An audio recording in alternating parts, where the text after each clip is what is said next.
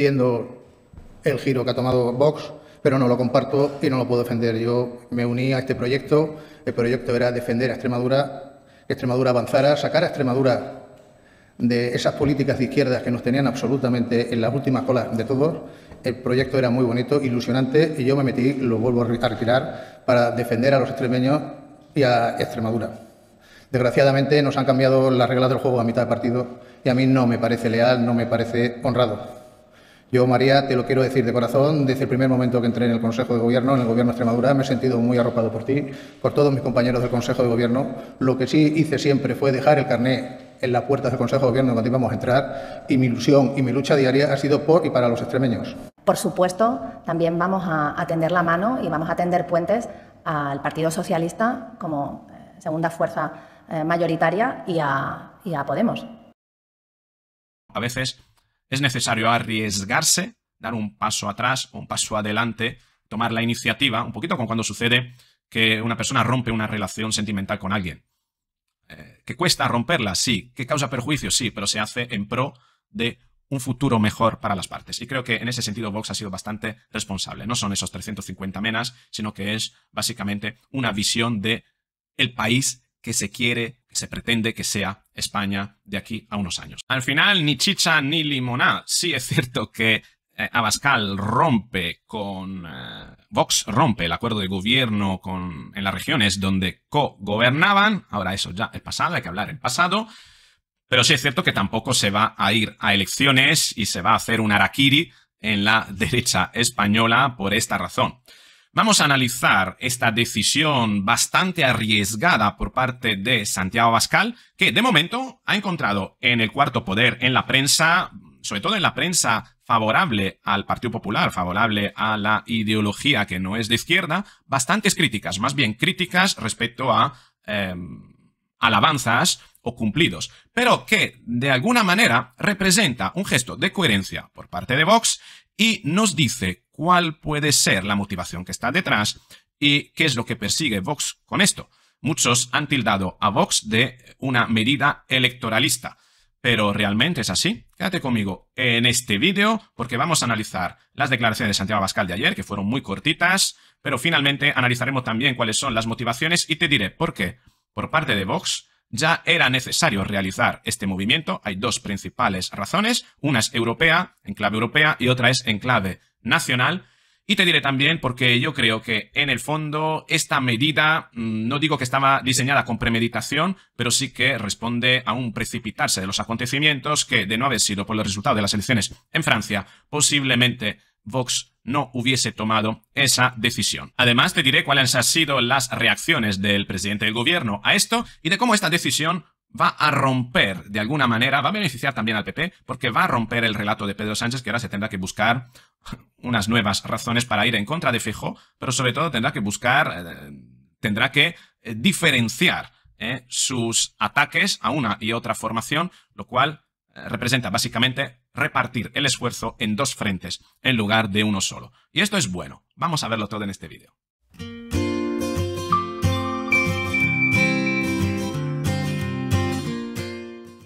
Así es, eh, esta es la decisión de Vox eh, y Pedro Sánchez dijo lo siguiente.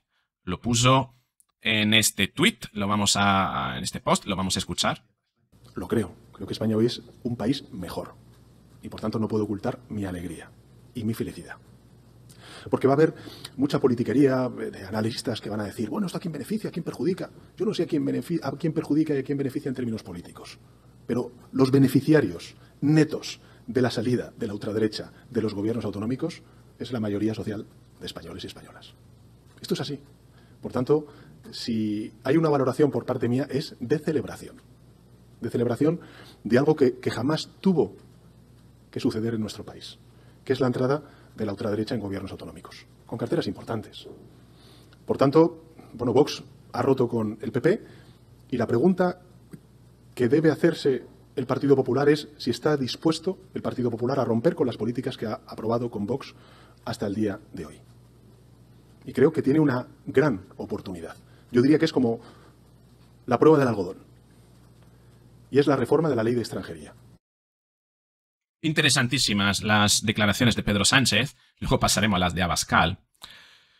Porque esto le va a permitir a Pedro Sánchez recrudecer el discurso con respecto al cordón sanitario hacia la, hacia la ultraderecha, ¿no? Por tanto, se va a esperar por parte de Pedro Sánchez una visión mucho más, eh, una declaración cada vez más contundente respecto a Vox, ¿vale? Pero realmente esto le va a perjudicar más a Vox. No, porque Vox ya está siendo perjudicado por ese discurso, por tanto, mm, no pierde. Quien pierde aquí es realmente el Partido Popular, porque, vamos a pensarlo, el real eh, adversario político de Pedro Sánchez es el Partido Popular. En la medida en la que esa diferenciación entre Partido Popular y Vox está más marcada, esa separación esté más marcada, Pedro Sánchez no va a tener un único frente compacto que eh, trate eh, con el que tenga que enfrentarse, ¿vale? Sino que, bueno, el PP, digamos, se hace más chico, ¿vale? digamos, como siempre, separa y vencerás. Ha logrado separar. Y ahora eh, lo que trata de hacer es acercar el PP a sus políticas, ¿vale? ¿Por qué? porque sabe muy bien que en la medida en la que acerca el PP a sus políticas y le permite marcar más diferencia con Vox, el PP va a perder electores. ¿Que se irán a Vox? Sí. Pero que se van a ir en una cantidad suficiente como para conseguir que Vox se convierta en la alternativa respecto al PP. Lo dudo. Lo dudo y Pedro Sánchez lo sabe. La ultraderecha o la derecha de Vox no va a conseguir, digamos, una cantidad de votos tan grande como para eh, volver a hacerle sombra. Y en todo caso, mientras estén peleados para los votos el PP y Vox, eh, ninguno de los dos va a conseguir llegar a un número de votos suficiente como para hacerle sombra al PSOE. Por tanto, es natural que lo celebre. Bien, eh, pero vamos a ver ahora las palabras de Santiago Abascal y vamos a buscar en su lenguaje qué es lo que puede delatar, ¿vale? ¿Qué hay? ¿Qué sensación hay? Pido a todos tranquilidad. Algunos ya estaban disfrutando, pensando que en Vox estábamos agarrándonos a los sillones o tratábamos de entrar en directo en los telediarios, como hace Pedro Sánchez, y ni una cosa ni la otra, porque los telediarios ya están terminando y no tenemos ningún apego a los sillones, sino a nuestros principios. Muchas gracias a todos los que hoy escuchan atentamente esta comparecencia en la que Vox va a anunciar una de las decisiones más importantes de su historia política. España padece un gobierno corrupto. Fíjate, dice, una de las decisiones más importantes de su trayectoria política. Es decir, para Vox esta comunicación es una comunicación trascendental. Y te diré después por qué es tan trascendental. Realmente es un movimiento que trata de consolidar en el imaginario colectivo una visión muy concreta, ¿vale? Muy concreta eh, de eh, cuál es su posicionamiento político con respecto a muchísimas cosas, entre, entre otras la de eh, extranjería. Eh, no voy a decirte, no voy a ponerte todo lo que eh, Santiago Abascal va, todo el tiempo que Santiago Abascal va a utilizar hablando del gobierno corrupto, etcétera, etcétera. Mm, porque, bueno, está hablando básicamente de, Pedro Sánchez. Y te digo que básicamente de los eh, tres minutos y medio largo ¿no? que, utiliza Santiago Abascal para su declaración, dos básicamente los utiliza para hablar del gobierno de Pedro Sánchez, ¿vale? Y luego llega a este punto cuando dice lo siguiente. Nadie ha votado a Vox, y me atrevo a decir que nadie ha votado al Partido Popular, para que continúe la invasión de inmigración ilegal y de menas. Si el señor Feijóo quiere estafar a sus electores y seguir aplicando políticas socialistas y globalistas, allá él. Importante esta parte porque dice políticas socialistas y globalistas, ¿vale? Aquí eh, Vox tiene que marcar la diferenciación definitiva entre lo que es la visión globalista y la visión eh, patriótica, la visión eh, soberanista. En Europa está habiendo un cambio. Lo que es la antigua izquierda y lo que es la antigua derecha están siendo eh, suplantadas por otra visión política, que es los globalistas versus los soberanistas, los soberanistas versus los globalistas. Ya no es una cuestión de izquierda-derecha o extrema izquierda, extrema derecha, no. Estamos hablando de fuerzas que son soberanistas que defienden la soberanía nacional por encima de eh, incluso la visión política. Porque bueno, Le Pen, el partido de Le Pen, tú me dirás que tiene de liberal, ¿no? Que tiene de visión de derecha de la política, ¿no? Realmente la tiene menos que eh, el partido de Melenchón, ¿no? Pero realmente son fuerzas muy estatalistas, ¿no? Em, pero sí es cierto que defienden una soberanía nacional, ¿no?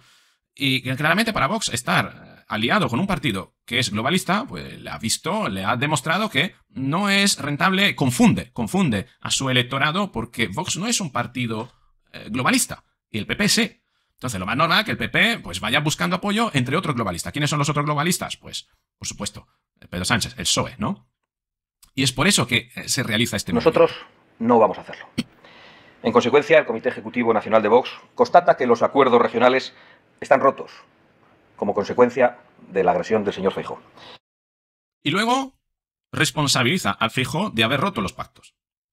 Es decir, de que la decisión de Abascal de eh, hacer que dimitan, por así decirlo, los eh, vicepresidentes de la comunidad autónoma donde cogobernaban con el PP, no es una decisión causante de esa ruptura, sino que es consecuencia de esa ruptura en el momento en el que Fejo decide, eh, demuestra estar más afín a las políticas globalistas asociadas a la inmigración em, respecto a otras políticas que son el pacto que ellos habían tenido. Y tú me dirás, pero vamos a ver. Todo esto por 350 menas, que es el argumento que muchos han dado, ¿no?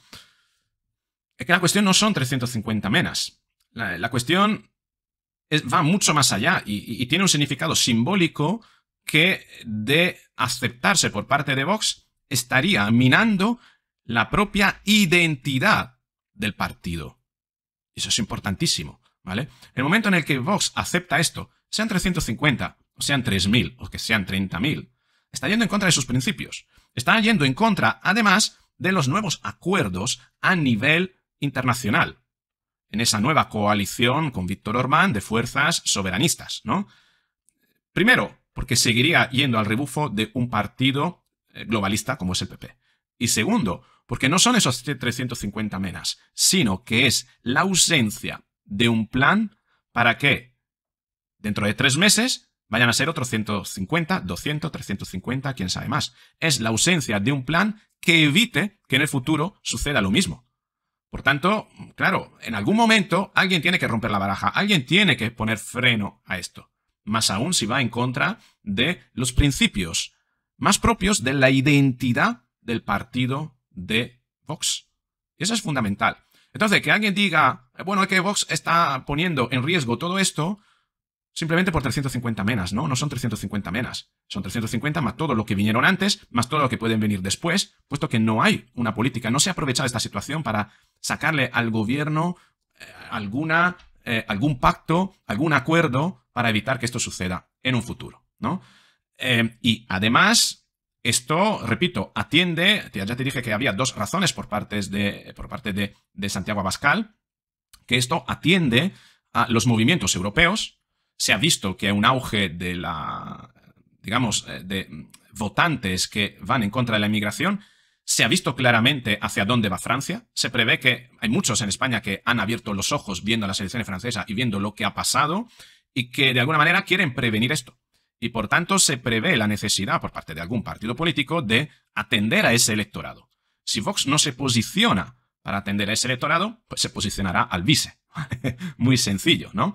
Entonces, en ese sentido, viendo que hay un auge, viendo que hay una, un despertar de la población que se ha visto, se ha iniciado a ver en Francia, ¿vale? Y que se prevé que llegue a España. Francia básicamente representa el futuro. Y, el partido de Le Pen, pese a no gobernar, ha ido ganando votos. Está en fase de ascenso. Dentro de dos años se prevé que tenga más votos, más votantes, adquiera más votantes aún. Y esto se va a trasladar, porque son corrientes que están en toda Europa, se va a trasladar en España también. Y es necesario que haya alguna fuerza política que recoja esa, eh, esa intención de voto. Bien, Vox con esto quiere hacer un movimiento que pero es un movimiento arriesgado, ¿vale? Arriesgado porque, claro, se ha echado en contra a Pedro Sánchez, que ya define muy claramente dónde está el cordón sanitario, pero bueno, esto ya lo tenía, y se ha echado en contra ahora al Partido Popular, ¿no? Y muchos además alegan que este es un movimiento defensivo de Vox, que de no haber surgido al vice, que ha catalizado muchos votos de descontento con respecto a la inmigración, Vox no hubiese dado este paso. Tal vez sea así. Pero también es cierto que a nivel europeo Vox se ha posicionado, se ha posicionado como fuerza política no globalista, soberanista. Y entonces no tiene razón de seguir manteniendo pactos de gobierno con fuerzas globalistas, que han demostrado que no van a que van a ningunear a Vox, que no van a, hacerle caso, ¿no? Por tanto, si es cierto que puede haber un movimiento defensivo con respecto al vice, de no estar al vice posiblemente eh, no hubiese sido tan contundente este movimiento, pero también es cierto que hay una bolsa de eh, electorado que se prevé que llegue a, que necesita encontrar alguien en quien depositar el voto con respecto al tema de la inmigración y que Vox se quiere posicionar. Em, haciéndolo así, ¿se protege de Alvise? Sí, pero también está haciendo un movimiento electoral, no digo contra el Partido Popular, sino para que el Partido Popular espabile y, de alguna manera definitivamente aclare cuál es su identidad. Porque actualmente el Partido Popular está en una crisis de identidad importante. Una crisis de identidad que, por un lado, sí habla de, con un discurso de derecha moderada, pero que a la hora de actuar actúa como una izquierda, ¿no? Eh, actúa más próxima a Pedro Sánchez, ¿no? Entonces, este movimiento es un movimiento que, bueno, para eh, Santiago Pascal es una forma de eh, poner en condiciones al PP de ya no apoyarse. En, Vox como fuerza, sino que, mira, está solo, ahora gobierna solo, por eso no quiere romper el gobierno, por eso no quiere que se vaya a elecciones, sino que quiere que el PP gobierne y gobernando él solo se delate a sí mismo, demuestre a su electorado realmente qué partido es. Por supuesto, también vamos a, tender la mano y vamos a tender puentes al Partido Socialista como segunda fuerza eh, mayoritaria y a, y a Podemos. Y para eh, Abascal, el partido de PP es muy claro, tan claro que dice Abascal que el Partido Popular ha mentido a sus electores, que es un fraude, eh, que es una estafa, porque le dice a los electores que están en contra de la inmigración irregular, etcétera, etcétera, pero al final firman para legalizar a, ¿cuánto era? Medio millón, un millón de, inmigrantes ilegales y aceptan el reparto, además de mucho más repartos como Radio Televisión Española, como el Consejo General de Poder Judicial, etcétera, etcétera. Seguimos escuchando a Santiago Abascal en la última parte de su discurso. Y el Comité Ejecutivo Nacional acuerda retirar el apoyo parlamentario a los gobiernos de Extremadura, de Baleares, de Aragón, de la Comunidad Valenciana, de Castilla y León y de Murcia.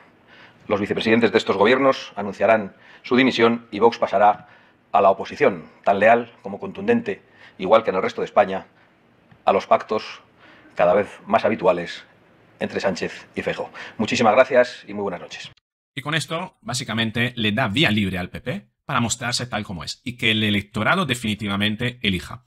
Yo creo que es una forma de eh, responsabilizar al PP, de hacerle perder al PP ese eh, paraguas, ¿no? De eh, enmascarar un poquito sus decisiones de derecha por estar más aliado con Vox. Y ahora el PP, bueno, tendrá que decidir mm, qué partido es, curiosamente, ¿no? Y a través de sus actos, sus decisiones, se demostrará y en la eventualidad de que al final se vaya acercando el PP al PSOE, para Vox será mucho más fácil señalarlo y será mucho más fácil también recoger esa intención de voto de personas que están desencantadas con el Partido Popular y que se prevé que sean cada vez más las que estén desencantadas de acuerdo con esos vientos que están corriendo desde Europa y que hacen que eh, cada vez sean más las personas que quieren optar por visiones soberanistas que eh, antes que eh, inclinarse o arrodillarse ¿no? a, las, eh, las voluntades de élites supranacionales que realmente deciden cómo nosotros tenemos que vivir sin que nosotros podamos optar o tener parte en esas decisiones. ¿no? Ese es mi análisis y en el fondo entiendo que esta decisión para Santiago Pascal es bastante arriesgada porque se echa en contra a una parte de la derecha y al parte del cuarto poder, que todavía sigue siendo muy afín al, Partido Popular, pero creo que es una decisión que está enmarcada dentro de una, eh, un afianzamiento de la identidad de, Vox que ha tenido ya una serie de antecedentes. Eh, claramente el posicionamiento en las fuerzas soberanistas con Orbán, eh, la agrupación de Orbán en Europa, el observar que en Francia hay un auge de eh, votantes que eh, necesitan que alguien dé respuesta en cuanto a intención de voto a, su necesidad de que se resuelvan sus problemas con respecto a la inmigración, y Vox quiere estar allí. Y no le beneficia estar al lado de una fuerza globalista y, que, bueno, en el fondo quizás sea un retroceder ahora para que en un futuro, al menos, al menos, se consolide esa visión de un partido que no va a ir en contra, no resulta ser al postre una estafa para sus electores, lo cual es importante. Con esto es todo. Dime tú qué es lo que te parece todo esto. Mm, te espero en los comentarios. Si te ha gustado el vídeo, dale like. Si crees que puede interesar a otra persona, compártelo. Si no estás suscrito, suscríbete al canal, suscríbete y seguiremos analizando la actualidad con el fin de utilizar la psicología para entender la motivación de las partes cuando hay cuestiones como estas, ¿no? Decisiones tan complejas, ¿no? Como arriesgadas a la vez. Pero bueno, a veces es necesario arriesgarse, dar un paso atrás o un paso adelante, tomar la iniciativa, un poquito como cuando sucede que una persona rompe una relación sentimental con alguien. Eh, ¿Que cuesta romperla? Sí. ¿Que causa perjuicio? Sí, pero se hace en pro de un futuro mejor para las partes. Y creo que en ese sentido Vox ha sido bastante responsable. No son esos 350 menas, sino que es básicamente una visión de el país que se quiere, que se pretende que sea España de aquí a unos años. Con esto es todo, un beso. Nos vemos en el próximo vídeo.